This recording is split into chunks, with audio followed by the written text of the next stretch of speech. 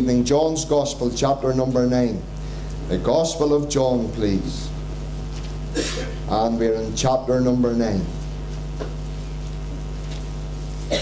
Now, friend, if you have come tonight without a Bible, please don't you be worrying. I'm going to read it slowly and I'm going to read it clear tonight. So you listen as we read. And if there's somebody beside you tonight who hasn't got a Bible and you have a Bible, well, maybe you'd be kind enough to let them read alongside you because it is good to follow on in the Word of God. Now, we're in John's Gospel, chapter number 9 now, and we're going to commence to read at verse number 1. John's Gospel, chapter number 9, and verse number 1. And as Jesus passed by, he saw a man which was blind from his birth. And his disciples asked him, saying, Master, who did sin, this man or his parents, that he was born blind? Jesus answered, Neither hath this man sinned nor his parents but that the works of God should be made manifest in him. I must work the works of him that sent me while it is day. The night cometh when no man can work. As long as I am in the world, I am the light of the world. When he had thus spoken, he spat on the ground and made clay of the spittle, and he anointed, he anointed the eyes of the blind man with the clay, and said unto him, Go wash in the pool of Siloam, which is by interpretation said. And he went his way therefore and washed and, and came seeing.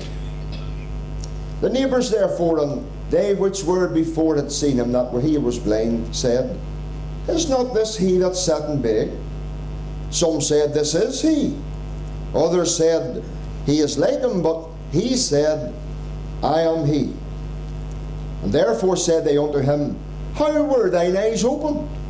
He answered and said, A man that is called Jesus made clay and anointed mine eyes and said unto me, Go to the pool of Siloam and wash. And I went and washed, and I received my sight. Then said they unto him, Where is he? He said, I know nothing. They brought to they brought to the Pharisees him that aforetime was blind. And it was the Sabbath day when Jesus made the clay and opened his eyes. Then again the Pharisees also asked him how he had received his sight. And he said unto them, He put clay upon mine eyes, and I washed and do see. Therefore said some of the Pharisees, This man is not of God, because he keepeth not the Sabbath day. Others said, How can a man that is a sinner do such miracles? And there was a division among them. And they say unto the blind man again, What sayest thou of him that he hath opened thine eyes? He said, He is a prophet. But the Jews did not believe concerning him that he had been blind and received his sight until they called his parents of him, the parents of him that had received his sight. And they asked them, saying, Is this your son, who ye say was born blind?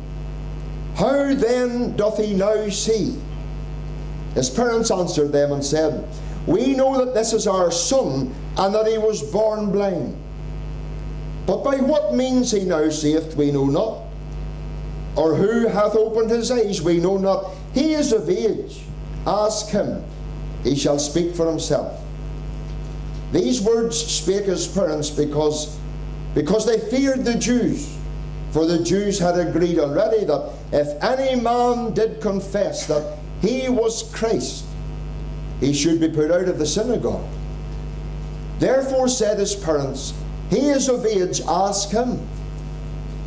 Then again called they the man that was blind and said unto him, Give God the praise, we know that this man is a sinner.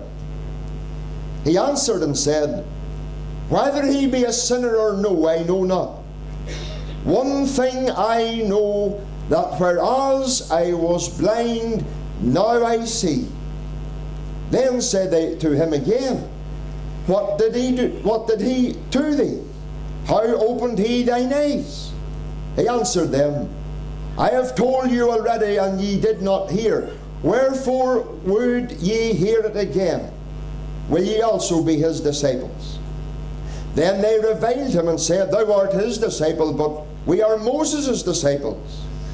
And we know that God spake unto Moses, As for this fellow, we know not from whence he is. The man answered and said unto them, Why, herein is a marvellous thing, that ye know not from whence he is, and yet he hath opened mine eyes. Now we know that God heareth not sinners. But if any man be a worshipper of God, and doeth his will, him he heareth. Since the world began, was it not heard that any man opened the eyes of one that was born blind? If this man were not of God, he could do nothing. They answered and said unto, unto him, Thou wast altogether born in sins, and dost thou teach us? And they cast him out. And Jesus heard that they had cast him out. And, and when he had found him, he said unto him, Dost thou believe on the Son of God? And he answered and said, Who is he, Lord, that I might believe in him?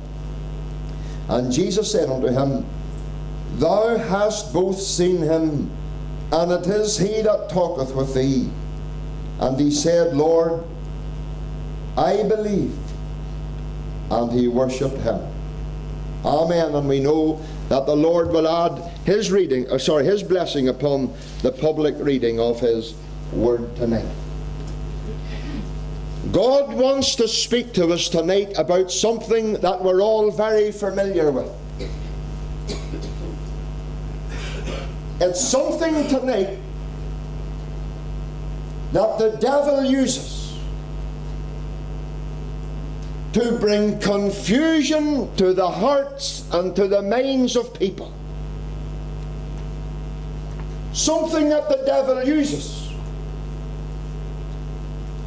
Something tonight that the devil has used for years and has used for generations to hinder people from getting saved. And God wants to speak to us tonight about this thing tonight that has hindered people from coming to Christ. I'll tell you something about this thing tonight. It has hurt more people and left more people disillusioned about God and about their great need. Now, what's this thing tonight that the devil uses to stop people from getting saved? What's this thing tonight that the devil uses to hinder people from coming to Christ? What's this thing tonight that the devil uses to bring great confusion into the hearts and into the minds of people? Maybe this has confused you tonight. Maybe this very thing has hurt you in days gone by. And maybe tonight this is the very thing that's hindering you from getting saved. And hindering for, for you tonight from coming to Christ. Now, what is this thing tonight that the devil is using to hinder people from getting saved? To hinder people from coming to Christ.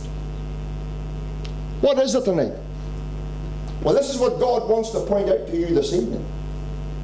What God wants to speak to us about tonight, believe it or not, is religion.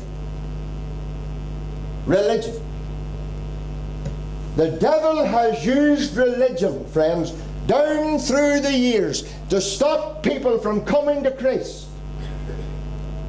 And the devil has used religion over the years to hinder people from getting saved. Religion. Believe it or believe it not, religion. And let me tell you about religion tonight. It's the greatest curse in this world, next to sin itself. Religion. I remember listening to the BBC iPlayer not so very long ago, and there was a man on it called Jim Dixon. Now, who was Jim Dixon? I'll tell you who Jim Dixon was. Jim Dixon was a man who was seriously injured in the Enniskillen bomb in the Remembrance Day, 1987. 48 operations that man had to go through, and he's still not healed. That IRA bomb blew out the roof of his mouth. It brought out his eyes, right eyeballs right onto his cheeks. He was left almost for dead. And it was the Stephen Nolan show, and Jim Dixon happened to ring in concerning near death experiences. And when Stephen Nolan friend interviewed him, Stephen, uh, Stephen Nolan said himself, Do you know, Jim, there's nothing has stumped me in my broadcast more than what you've told me today. You ask Jim Dixon what was the greatest curse in the north of Ireland? He'll tell you today, religion, he says. And so it was. Religion. And you know, friend, this evening in John's Gospel, chapter number 9, you can see in John 9 tonight the awful effects that religion has. People talk about the effects of drink. People talks about the effects of drugs. People talks about the awful effects of the world. Let me tell you, friend, there's nothing has more of an awful effect on it than religion. This wee province is coming down with it. The kingdom of Mourne is coming down with it. There's people tonight, and that's what they're depending upon to get them into heaven. Tell me, are you depending upon religion tonight? To get you into heaven. Let me tell you something about religion tonight. Religion tonight can do nothing for you. Religion tonight can do absolutely nothing for your soul. In John's Gospel, chapter 9, we have a man here and he's born blind. This man never saw daylight from the day he was born to the day he met the Lord Jesus. And the day he met the Lord Jesus, the Lord Jesus did something for this man away beyond human comprehension. Something that religion couldn't do. But the Lord Jesus was able to do it. This man was born blind. And the Lord Jesus did something for him that was absolutely miraculous and absolutely wonderful. But you know, friends, tonight, this man was opposed and this man was challenged. And friends, do you know who he was challenged by? He was challenged by religious people. There's nobody on this earth opposes the message of the gospel tonight more so than religious people. There's nobody would reject Christ more than religious people. Oh, religion will talk about God. Religion will talk about God, but religion won't mention Christ. Religion will talk about God, but it won't talk to you about getting saved. Religion tonight is the greatest curse in this world that we know of against sin. Now, friends, I want you to notice the first thing about religion tonight in our passage. And God wants you to see tonight, first and foremost, the curse of religion. Do you know what we read, what the religious people said in verse number 16? About the Lord Jesus Christ, this is what they said This man is not of God, now, who were they talking about? They were talking about the Lord Jesus. This man is not of God because he keepeth not the Sabbath day. Do you know what religion does? Religion doesn't deny God, but it denies Christ. denies Christ. Here this man was, and he confessed to this, these Pharisees, as to how he was healed. And he said, A man that is called Jesus made clay. Oh, the religious says, This man's not of God, should he healed on the Sabbath day. See, that's the curse of religion. Rules and regulations, people's damned in hell because of it. And this man was was total challenge concerning the Lord Jesus who had done this wonderful work for him. You know, I remember as a wee nipper, it's only a lot of years ago, when I was a wee nipper, and I went to the Good News Club in the McIlwain Hall in Aughnacloy. And I remember this wee lady standing up with three hearts. One was a black heart, one was a red heart, the other was a white heart. She's talking about the black heart of sin. She says you'll never get into heaven if you've got a black heart. You'll never get into heaven. And because you'll not get into heaven with a black heart of sin, listen, dear unsaved friend, I want to pause for a wee moment. You'll never get into heaven tonight if you're a sinner. You'll never get into heaven tonight because of sin. Listen tonight, God's not stopping you from getting into heaven, but your sin's stopping you from getting into heaven. Because the Bible says you were born in sin and shapen in iniquity. And it doesn't matter how good you are, right you are, religious you are, you're a sinner tonight. You're a sinner. Do you know what, do you know what the religion in Islam says? The religion in Islam says you're a Protestant. Not in God's eyes, you're not a Protestant, you're a sinner. Religion in our wee land says you're a Catholic. No, you're not a Catholic in God's sake, you're a sinner. You know what religion tells you in this, in this country today? That you're a unionist. You're not a unionist, you're a sinner in God's sight. You know what the religion says in our wee country today? You're a Republican, you're not a Republican, you're a sinner in God's sight. We need to sit up straight tonight and really listen to what God says. Because God says we all have sinned and have come short of the glory of God. And that's true tonight. And then this wee woman, she put up a red heart and she talked about, you know, the Lord Jesus, how he died on the cross and, and the red was full of blood. And that's what you need tonight. You need the blood of the Lord Jesus Christ. You need to receive the Lord Jesus Christ into your heart for your sins to be forgiven. Listen, this is what you need tonight. You don't need religion. I'm not up here to waffle about religion. Friend, you need Jesus Christ in your heart tonight. You need to be washed in the blood of the Lord Jesus Christ. He's the only one that can take away your sin. And then she showed up this white heart and she says, That's what the Lord Jesus can do. He can make your heart that's black with sin whiter than the snow. And as a wee nipper, I listened. I listened till her and I went home. And I remember telling my mother, and my mother, she's religious as anything, and would never miss church. And I says to mummy, I says, Mummy, you know I need to be saved and I need to ask the Lord Jesus into my heart. You know what she says? Nonsense, she says, nonsense. You don't need that.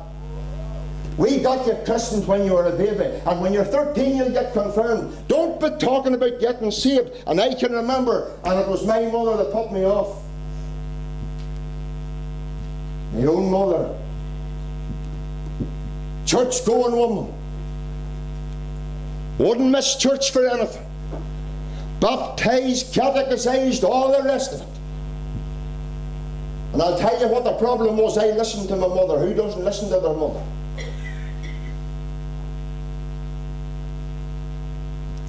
And her religious beliefs put me off from getting saved. There was a lady who lived in Aughnacloy, her, her name was Renee. And she went to a tent mission like this that was erected by the Faith Mission, conducted by the Faith Mission. And again, really like myself, she came under conviction of sin, so much so she went to see her minister. And she went to her minister and says, I was at that mission down the road there, and you know, sir, she says, I feel I need to get right with God. Can you talk me through it? I talk you through it. What are you talking about, Renee? Sure, you don't need that saved business girl. Sure, you're a good woman and an upright woman. She has to curse her religious to me, religion to me. Is that you? Is that what's stopping you, dear?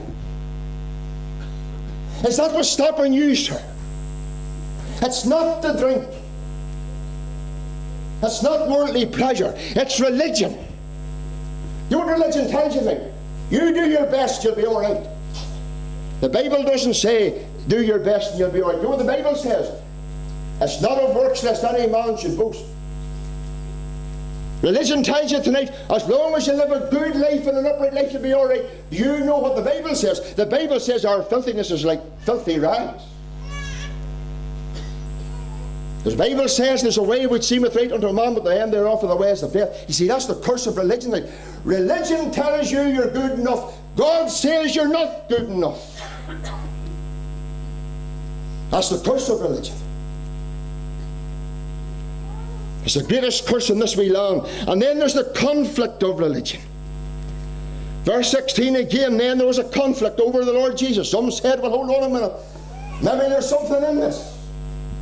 Maybe this is you tonight. Maybe you're saying, hold on a minute. I've come to this tent mission. And I'm hearing things I've never heard before. And since I've come to this tent mission, I'm feeling things I never felt before. And since I've come to this tent mission, I'm beginning to get troubled about things I was never troubled over before. You know that is? That's God, sir, taking a dealing with your heart. Let me say something about the Lord Jesus tonight. What who religion denies. The Lord Jesus Christ tonight is the only Saviour of sinners. You turn your back on the Lord Jesus tonight, you're turning your back on heaven. You turn your back on the Lord Jesus Christ, you're turning your back on eternal life. You turn your back on the Lord Jesus Christ, you're turning your back from any hope at all from escaping the fires of hell. Because the Lord Jesus is the only Saviour. Listen, the Lord Jesus Christ is not our religion. The Lord Jesus is a reality. I tell you how He's a reality. Before I was saved, I was in the world.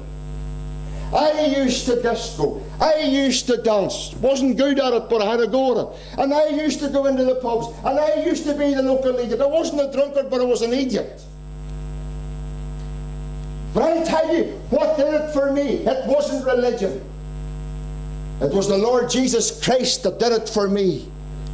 It was Him that put joy in my heart. It was Him that put the smile in my face. And it was Him that put the song in my heart, not religion. The Lord Jesus. My dear friend, tonight it's the Lord Jesus who went to Calvary's cross. And there tonight to suffer and to bleed and die for your guilty Romans head. Listen, your problem tonight, sir, your problem tonight, love, is sin. Sin tonight. You were born in sin. You were shapen in iniquity. Listen, you're dying in sin. And you're dead in sin, is what the Bible says. But the Lord Jesus Christ went to the cross. There he suffered and he bled, bled and died in your guilty room instead. Why? It's because he loves you. God loved the world of sinners lost and ruined by the fall. Salvation full at highest cost he offers free to all. Listen, do you know why this mission's convened? We are not here to proclaim our religion. We're here tonight to proclaim Christ.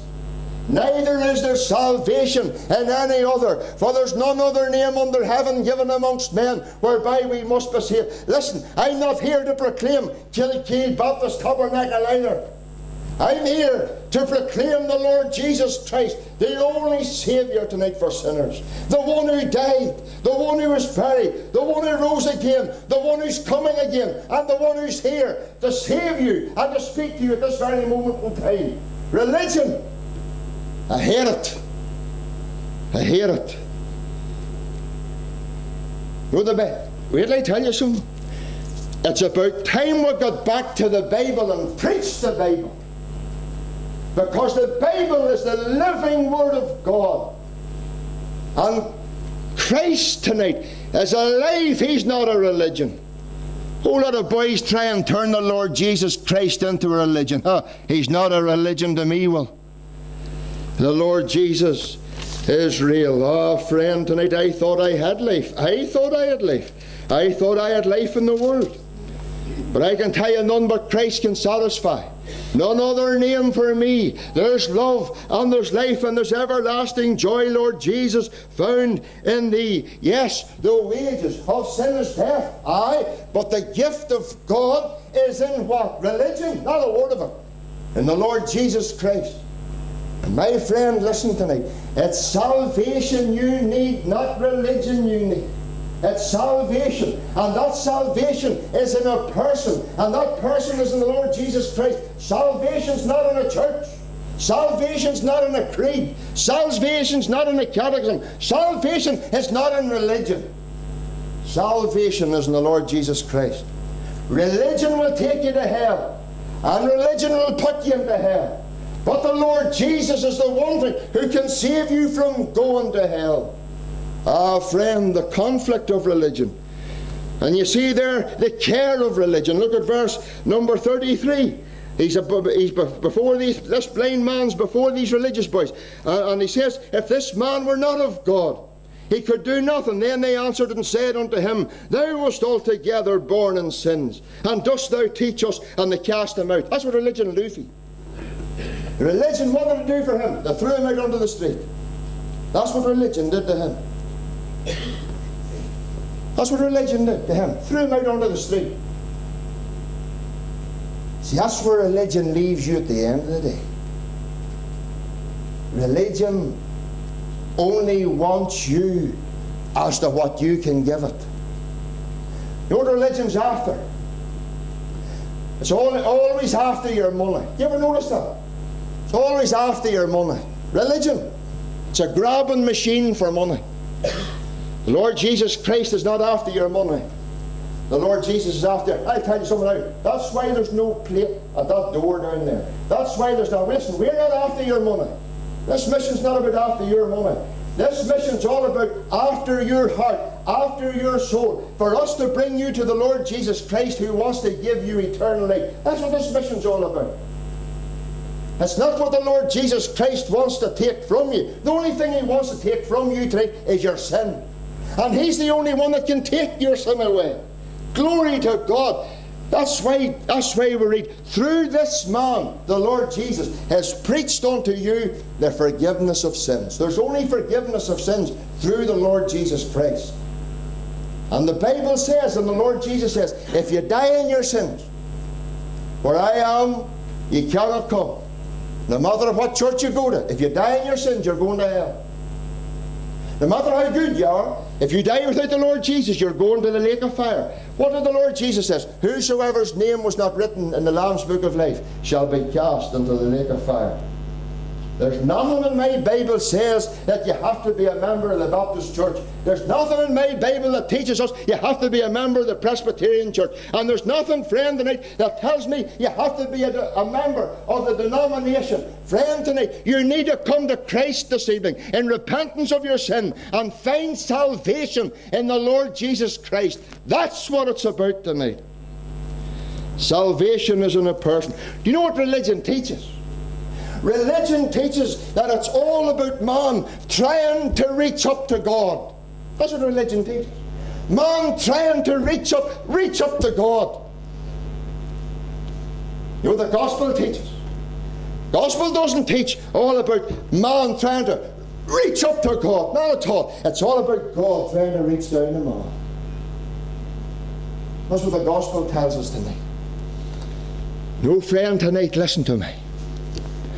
There's people has walked out through that door, I can tell you, night's gone by, and I'll tell you they're troubled. And they've told me they've been troubled. And they've told me that they've been worried, and one person has told me they want to be saved. What one man said, says, We have never heard this before, and I'm in my 60s and I've never heard the like of it in my life. You want to know why half our churches are empty? Because it's just religion. I was talking about my last job one day and he says to me, Sir, our church. He says it's dead, it's like a graveyard. He says the preaching's dead, the singing's dead, the choir's dead, the organist is dead, even the church mouse is dead. And he says everything's dead. And the only sign of life in our church is the graveyard round the back that gets new arrivals every other week. Oh, friend, that's what religion does to you. There's no life in religion and there's no salvation in religion. And religion put this man out in the street. You see, that's what religion does tonight. wasn't the drink that cast him out of the synagogue. It was religion. They threw him out there. And I'm sure that man lay in the street wondering, what has religion done to me? Is this what it thinks of the Lord Jesus? But then I'm going to close now with this one. There's the cure for the religion because I, I, I think this is a lovely wee, a lovely wee scene. It says, And Jesus heard that they cast him out, verse 35.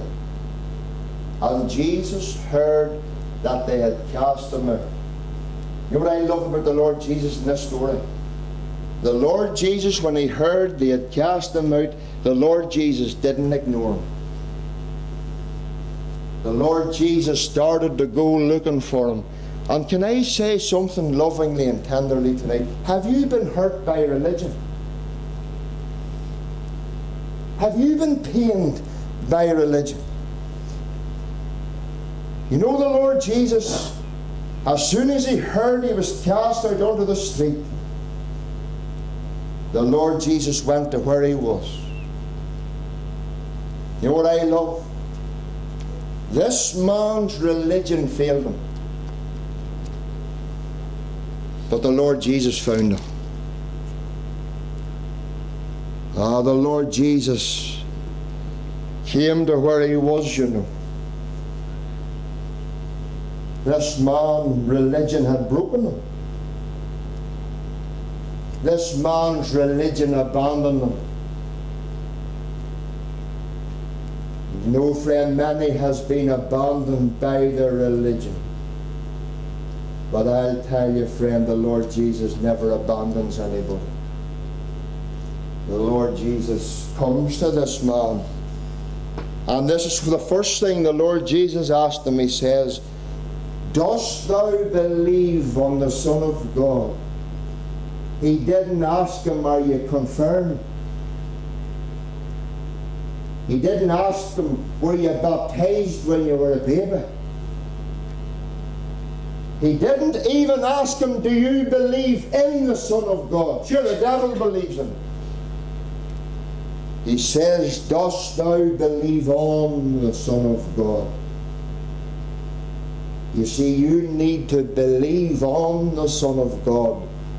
That means you need to forsake all other old nonsense that there is and realize that you're a lost sinner and recognize that when the Lord Jesus died on Calvary's cross, he died there for you personally, and He died there for your sins, and He died there taking your place in order that you could be saved. And that's the question God comes to your heart with right now. Dost thou believe on the Son of God? And I can see the man looking up to his face and saying, Who is he, Lord? That I might believe in him. And the Lord Jesus, just simply with a voice tender and soft, said, He said, Thou hast both seen him, and it is he that talketh with thee. And he said, Lord, Lord, I believe. And the moment he said, I believe, I was saved. Didn't take a big long prayer. Two words, I believe. And at that moment, he was saved.